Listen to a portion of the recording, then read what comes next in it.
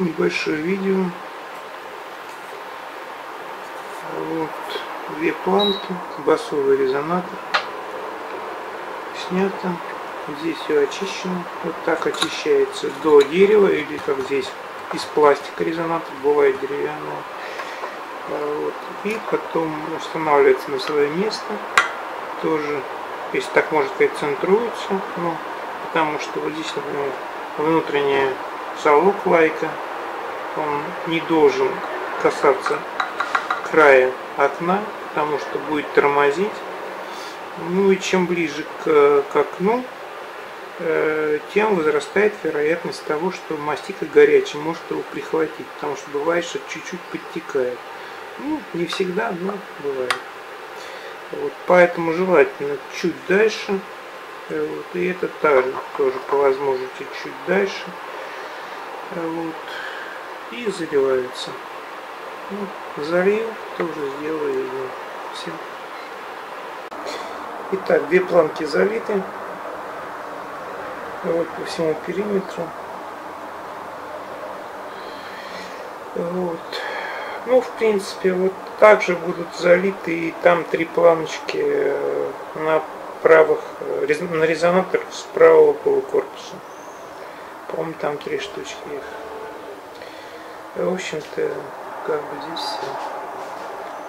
Итак, Вельтмастер Стелла, перламутр красный и так далее. Продолжение. Значит, данном у нас здесь три резонатора правого полукорпуса. Как я и говорил, вот эти планочки. Что интересно, что они совпали. Раз пятая и на другом резонаторе тоже пятая. Они будут э, перелиты, то есть мастика будет переласкована, как еще говорят, в общем термины такие, то есть вот перелиты. Вот. Ну и я потом, видимо, сделаю небольшое видео, покажу, так сказать, результат. А, лайку и пластик я переклеил.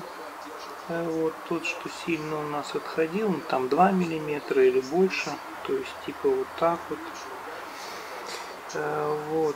Ну, сразу могу сказать, что, конечно же, это у нас верхняя все залоги, а есть еще внутренняя.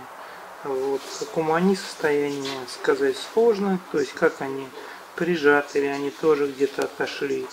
Вот это можно выяснить только тогда, когда, ну в смысле выяснить-то можно посмотреть вот там, допустим, э, в окошко, вот так вовнутрь, вот туда. Вот. Ну, видно, что в принципе где-то вот довольно-таки прилично. Вот предпоследний отвис. Ну, короче говоря, обычно это делается э, залогами полном смысле, то есть по всем по левой, по правой, тогда, когда переливаются полностью все резонаторы.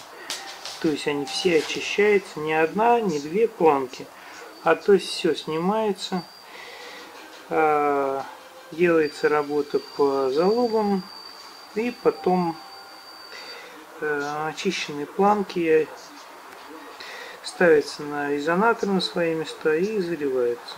Ну, не все, а по одной, поочередно, как говорится.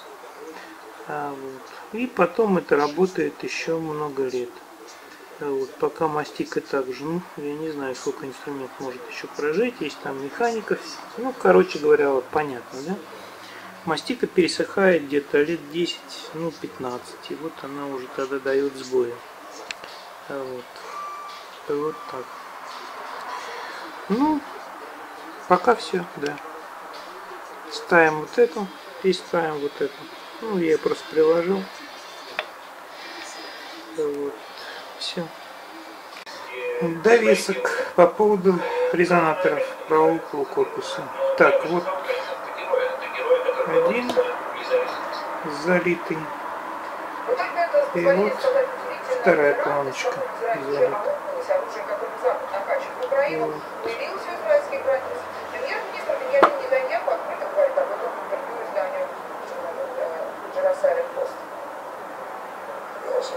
У нас есть опасения, что любые системы, которые мы передадим Украине, будут использованы против нас, потому что они могут попасть в руки Ирана и могут быть использованы против нас.